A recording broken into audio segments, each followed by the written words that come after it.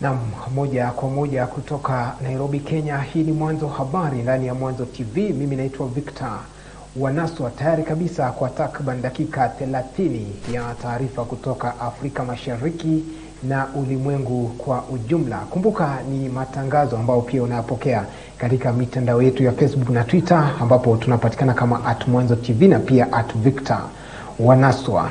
Hebu sasa moja kwa moja tuanze na taarifa zetu mtazamaji. Na serikali ya Marekani imejitolea kusaidia serikali ya Kenya katika uchunguzi kuhusu mauaji ya mwanaharakati wa mashoga Edwin Achiloba. Msemaji wa wizara ya mambo ya nje ya Marekani ametoa wito wa uchunguzi wa kina na uwazi kuhusu mauaji hayo.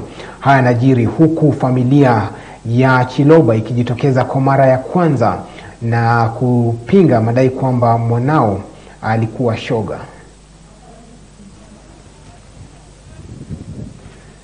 Takriban siku sita baada ya mwanaharakati wa jinsia moja Edwin Kiprotich maarufu kama Chiloba kuuawa, familia yake imejitokeza kwa mara ya kwanza na kuzungumzia mauaji hayo. Msemaji wa familia hiyo Gaudenzia Tanui amesema kama familia walimfahamu Kiprotich kama kijana asiye na vurugu wala maswala yanayokwenda kinyume na maadili ya kijamii na kidini. Sisi kama familia tumejua mtoto wetu alikuja university, ako fourth year. Mambo mengine ambayo tunaona kwa social media hatujui. Hakuwa na neno na mtu, hata huyu mwenye aweza kumua I'm very sure hajawahi mkosea juu yeye hajawahi kosea mtu yeyote kwa maisha yake. So mi tunaambia brother yangu rest in peace. We loved you but the enemy destroyed you but God will will help us. Mwana mitindo huyo aliyekuwa na miaka ishirini na mitano aliuawa tarehe nne mwezi huu wa Januari na mwili wake ukapatikana umetupwa barabarani ukiwa umepakiwa kwenye sanduku la chuma. Familia hiyo sasa ikionyesha imani kuwa wahusika watachukuliwa hatua kali za kisheria kwa kuwa serikali imechukua hatua madhubuti ya kuchunguza suala hilo. Kwa sababu kuna mtu anaweza taka mtoto wake akuwe hivyo. Mm. Sasa be fair, hatujui hiyo mambo na mtoto wetu amewawa, tunataka tu justice, nothing more. Just justice na muache arrest in peace. Wahusika watano, watatu miongoni mwao wakiwa watoto wadogo, walifikishwa katika mahakama ya sheria ya Eldoret, ambapo upande wa mashtaka uliomba wazuiliwe kwa siku ishirini na moja ili kupisha uchunguzi wa kina.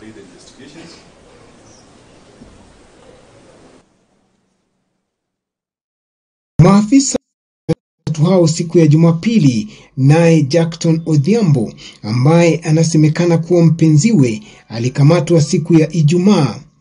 Odhiambo anachukuliwa kuwa mshukiwa mkuu katika kesi hiyo ambayo itasikizwa tarehe 31 mwezi huu. Victor Wanaswa, Mwanzo TV.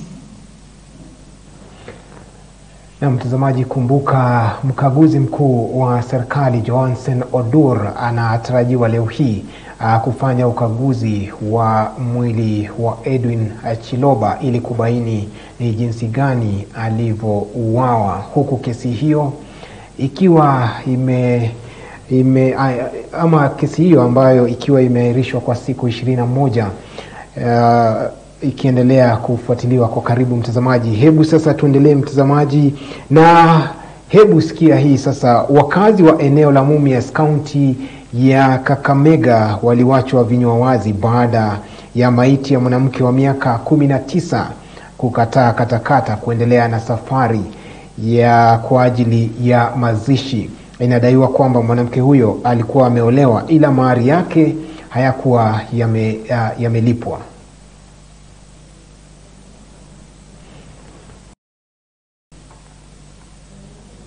To, toka huko tulitoka tu na amani, tukafika hapa, nikaambia huyu driver hapa ndio nyumbani kwao, jaribu, jaribu ku, kuweka hiyo alarm, watu wa nyumbani kwao wasikie anapita anaenda wapi? Kwake. Sasa ndiye tulifika hapa, ni gari ikawacha. Yakakataa. Gari imekwama kwa kina msichana penye anazaliwa, so nimeangalia gari upande wa moto, gari iko sawa, mafuta iko sawa, sioni kitu ya kutengeneza hapo. Najua mambo ya mila, hasa hao wazee wafanye mambo ya mila venye inatakikana, gari itawaka na msichana anaenda. Wazee ndio hao wameongelesha mtoto kuka ya mtoto amekuwa hapa, ndio hao bado wanamiminika tu, wanakuja. Hii yote ni jamii ya mtoto tu, wamekuja wamemwongelesha, hatuoni gari ikitoka akubali, sababu ni ako na boma. Wenyewe wa, wa, wa, wa, wa familia yao walikuja kwetu wakaongea na hii familia yenye imepepa mwili. Hata leo wame, wametengeneza mahari. Tulikuwa tukifika nyumbani, gari ileta hapa mahari.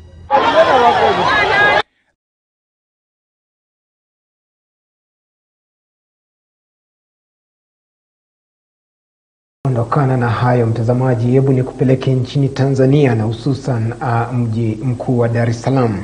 Na mwenyekiti wa Chama cha Mapinduzi Rais Samia Suluhu Hassan amewataka wanachama wa chama hicho kujiandaa kukosolewa na vyama vya upinzani kwenye mikutano ya hadhara na kuwataka kujibu kwa hoja badala ya kupayuka ovyo majukwani.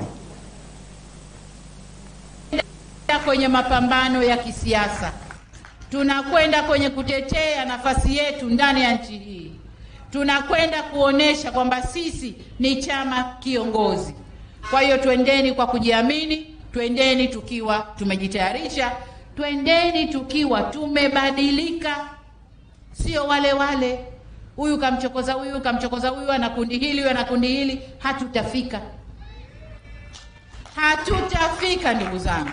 Ni Rais Samia Suluhu Hassan aliposhiriki kilele cha matembezi maalumu ya Umoja wa Vijana wa Chama cha Mapinduzi ya kuadhimisha miaka 59 ya mapinduzi matukufu ya Zanzibar, ambapo kupitia jukwaa hilo amesisitiza ufanyaji wa siasa za kistaarabu wakati huu ambapo vyama mbalimbali nchini vikijiandaa kufanya mikutano ya hadhara. Itakumbukwa mnamo Januari tatu mwaka huu Rais Samia aliondoa zuio la mikutano ya hadhara kwa vyama vya siasa lililodumu kwa takribani zaidi ya miaka mitano. Rais Samia akiwa visiwani Zanzibar leo Januari kumi amewataka vijana wa Chama cha Mapinduzi kutumia majukwaa ya mikutano ya hadhara kujijenga upya kisiasa na kuacha dhana za ugomvi na kutukanana kumalizika na baadaye wajenge hoja kwa maslahi ya taifa. Pamoja na kutimiza malengo ya falsafa hiyo ya maridhiano, ustahimilivu, mabadiliko na kujijenga upya, sasa niwatake na niwaambie kwamba zama za ugomvi, kupigana na kutukanana katika siasa sasa ziishe. Twendeni na hoja za maana, twendeni na hoja za kujenga. Aidha, amewataka kuwa wastahimilivu pindi wanapokosolewa na kutumia fursa hiyo ya ukosoaji kama sehemu ya kujijenga na kuondoa makosa yaliyoibuliwa endapo yana ukweli ndani yake. Tuvumiliane, tulete maendeleo ya kweli na yenye tija ili tujenge Tanzania mpya yenye maendeleo endelevu. Taifa lenu linawahitaji na linahitaji kutunza na kuendeleza umoja, amani na mshikamano wetu ili muungano wetu uwe imara zaidi kwa hatua zaidi za kimaendeleo. Na hapa yote tunawategemea vijana mkafanye kazi hiyo. Kwa upande wake katibu mkuu wa Chama cha Mapinduzi ndugu Daniel Chongolo amesema katika kutekeleza fursa ya mikutano ya hadhara watafata sheria na miongozo iliyowekwa ili kuendesha mikutano hiyo. Katika kutekeleza hilo la mikutano, tutafuata sheria, taratibu na miongozo yote iliyowekwa na serikali kwa ajili ya sisi kutekeleza uendeshaji wa mikutano yetu ya hadhara. Katika hatua nyingine, Rais Samia amewataka vijana kutafsiri kwa vitendo maana halisi ya uhuru na mapinduzi kwa kuleta mapinduzi ya kiuchumi, kisiasa na kijamii ili kutengeneza mazingira sahihi ya kuwa na maendeleo. Sherehe za mapinduzi hufanyika kila mwaka Januari kumi na mbili, ambapo kwa mwaka huu sherehe hizo za miaka hamsini na sita zimefutwa na Rais wa Zanzibar Dr Hussein Mwinyi ili fedha zilizotengwa zitumike katika sekta ya elimu. Asia Gamba. Turejee hapa nchini Kenya, mtazamaji. Na Rais William Ruto amemwagiza Inspekta Jenerali wa polisi Jafeth Koome kuhakikisha maafisa wote wa polisi walioajiriwa wanapewa sare zinazofadhiliwa na huduma ya kitaifa ya polisi. Rais Ruto ambaye alizungumza hayo wakati wa kufuzu kwa makurutu zaidi ya elfu mbili katika kituo cha mafunzo cha uh, polisi huko Kiganjo ameitaka wizara ya usalama uh, usalama wa ndani kuhakikisha kwamba uh, suala la makazi ya polisi linaangaziwa ipasavyo.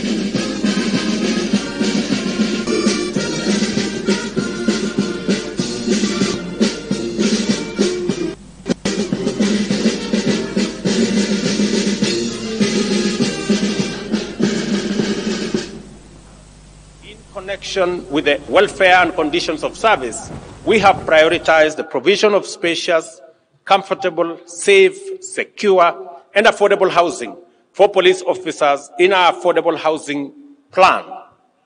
This will go a long way in delivering our pledge to address the housing shortage facing members of the police service. And I want to ask the leadership of our disciplined forces from the army through the police, all the way to our prison officers, to, pro- to be in consultation with the Ministry for Housing so that we can fast track and prioritize the delivery of housing for our men in uniform as a mechanism of ensuring that they can become much more effective and much more efficient by ensuring that their children and their families are properly catered for in decent, affordable housing.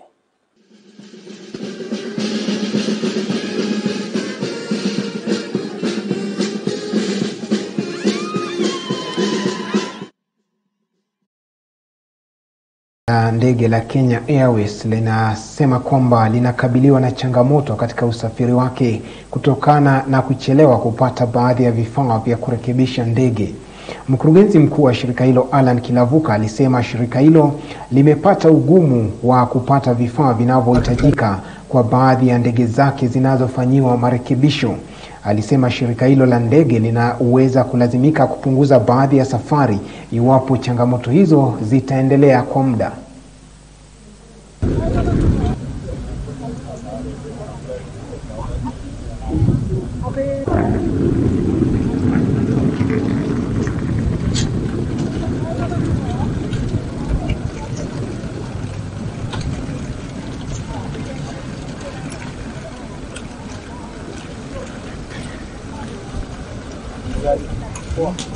Amesema anakuja. Amesema anakuja siku gani? Tuelekee nchini Senegal, mtazamaji. Na serikali ya Senegal imepiga marufuku safari za usiku kwa magari za umma kama mojawapo ya hatua 23 za kukabiliana na maafa barabarani. Waziri mkuu wa taifa hilo ametangaza hatua hizo baada ya ajali ambayo ilipelekea watu 39 kupoteza maisha yao hivi karibuni. Karibu wapi? Unajua tuko hapa